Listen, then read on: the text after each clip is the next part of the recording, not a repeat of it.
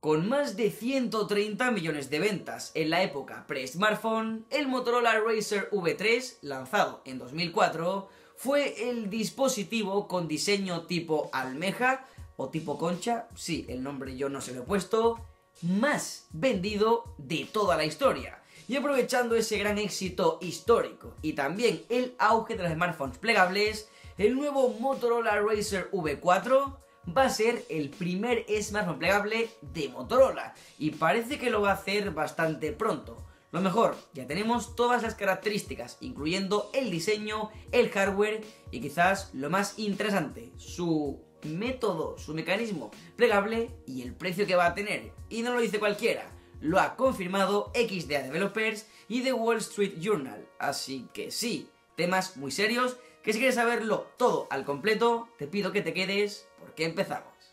Pues sí, según parece, Motorola está a punto de lanzar su smartphone plegable y está bastante más cerca de lo que nos esperamos. Lo que haría pasar de la historia que era más o menos de esta manera a ser de la siguiente, un smartphone con exactamente el mismo concepto, pero que esta vez todo es pantalla y el cuerpo es completamente plegable para poder tener una experiencia muy portable, muy cómoda al bolsillo a la mano que no pesa ni molesta nada y después poder abrirlo y tener en un espacio muy reducido una pantalla igual de grande que todas las demás. Así que según parece, esta podría ser una de las soluciones más ingeniosas en el mundo de los smartphones plegables. Y también os digo, es la más barata que existe hasta la fecha. Lo más importante, si quieres saber todo este tipo de noticias, de tus smartphones y mucho más, podrías suscribirte a este canal que es completamente gratis y así no te pierdes ninguna noticia de smartphones como el que tenemos en el día de hoy.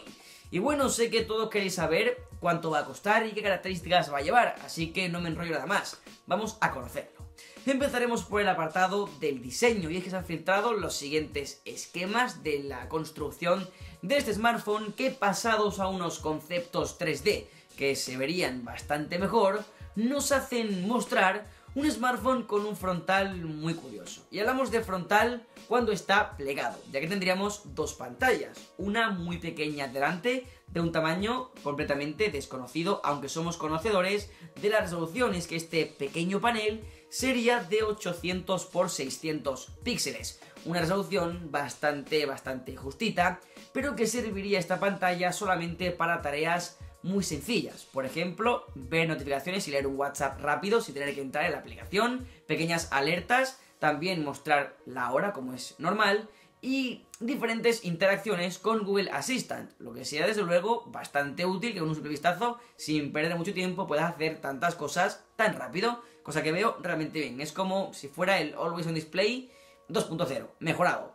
Y una vez abierto, daría lugar a una pantalla bastante normalita de 6.2 pulgadas con una resolución muy extraña de 2142 píxeles de alto por 876 de ancho, una resolución que está entre medias del HD y el Full HD. Así que si bien no va a ser mala, destaca que no es muy llamativa, al menos en cuanto a los números. Según parece, este panel va a ser AMOLED para que fuera posible el hecho de poder plegarse, poder ser flexible. Por lo demás, también sería, como dije antes, bastante más barato que sus competidores de Huawei o de Samsung, porque es un smartphone plegable pero de gama media, ya que de procesador montaría el Qualcomm Snapdragon 710 junto a la gráfica Adreno 616, que aunque sí es gama media, la verdad es que da un rendimiento más que suficiente. Y habría dos versiones, contaríamos con una de 4 GB de memoria RAM y una superior de 6, con 64 o 128 de almacenamiento interno. Así que sí, de primeras, un smartphone muy normalito en cuanto a la gama media, pero eso sí, con un buen rendimiento. En cuanto a las cámaras, no sabemos nada, solamente que tendremos una cámara que estaría en la parte delantera, es decir, la que se ve cuando está completamente plegada. Para hacerte un selfie utilizarías esa cámara con la pequeña pantalla que aparece al estar plegado y como cámara principal simplemente lo despliegas y verás en la pantalla ya grande y desplegada la fotografía normal, lo que haría este smartphone también tener un selfie realmente bueno. Por último, hablaremos de la batería, que sería bastante justita, de unos 2730 mAh, cosa que está, bueno, quizás puede un poquito justos para el nivel de pantalla que tiene, pero siendo poco más que HD y estando la opción de plegarse y no plegarse en un tamaño muy pequeño, entiendo que será una batería suficiente y ya está. Y diréis, vale, genial, me parece bien un gama plegable, qué bien que sea un smartphone más barato y plegable, poder llevar esta tecnología a más personas. ¿Y cuánto costará? Pues bien, según Wall Street Journal, el precio que tendría es nada más y nada menos que 1.500 dólares. Así que es cierto, está por debajo de los casi 2.000 que te piden por el Galaxy Fold y también pues cerca de los 3.000 mm, que te presenta Huawei por su Mate X. Así que a ver, no está del todo caro, cuesta la mitad casi que el de Huawei, pero es enormemente caro. Hay muchas personas que no pagarían esto. Ahora, comentaba ya las características, qué puede hacer, qué no.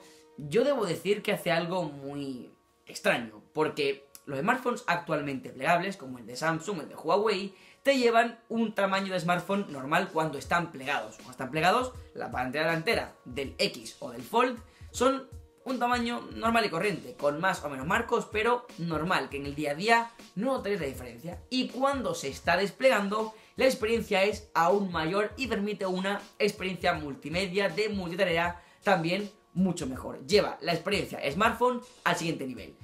Aquí sería lo contrario. Cuando está completamente plegado, no es casi ni un smartphone, es como un smartwatch. Hace lo mismo. Notificaciones, pequeños mensajes, Google Assistant y ya está. Y cuando lo estás desplegando, tienes un smartphone normal y corriente. Al desplegarlo, no te ofrece nada extra ni nada diferente. Me parece muy curioso. Lo que hace es llevar tu smartphone normal y corriente a una experiencia que puedas plegar y llevar con solo unos dedos de tu mano. Para muchas personas esto puede ser una tontería, porque es lo que digo, es plegable, pero no aporta nada nuevo. Para mí creo que es la mejor opción que se me ha ocurrido. Yo personalmente no necesito la gran pantalla del Galaxy Fold o del Mate X, porque en mi día a día con el uso de mi smartphone tengo más que suficiente. No quiero nada extra a esto. En cambio, este Motorola te ofrece eso mismo. Cuando no te haga falta, llevas en tu bolsillo un smartphone de unos centímetros y ya está súper delgado que en este tamaño podría caber y meter en el bolsillo y olvidarte de él, siendo mucho más cómodo y tener así una gran pantalla, porque una vez desplegado tiene 6.2 pulgadas, que no es lo más grande, pero a ver, creo que es el único smartphone plegable que no parece un gran armatoste que te llevas en el bolsillo y sea incómodo, todo lo contrario, es el más pequeño, es el más justo. Si bien no es el más llamativo ni quizás el más útil porque hace exactamente lo mismo, es cuestión de comodidad. El de Galaxy, el Fold o el Huawei Mate X son lo contrario, un smartphone con experiencia plus, un smartphone 2.0 por así llamarlo. Este sería todo lo contrario, un smartphone 1.0 que se tiene que desplegar para ser normal pero me parece de todas la opción, si bien menos novedosa, con menos características extra, de hecho, como digo, no tiene ninguna porque es idéntico a Amazon de, de hoy, solo que se pliega para hacerse más pequeño y ya está, pero era más cómoda. Viendo esto, ¿qué pensáis? ¿Os gusta? ¿Preferís este o preferís el concepto de Samsung o el de Huawei? Lo que sea, ponérmelo en los comentarios. ¿Te ha gustado el vídeo? Déjame un buen like para apoyarme y ayudarme a subir este tipo de vídeos día tras día. Puedes seguirme en todas mis redes sociales que tienes en la descripción, que son Twitter, Instagram y Facebook. Y por supuesto, si no quieres perderte nada, suscríbete al canal. Nos vemos en el próximo vídeo. Adiós.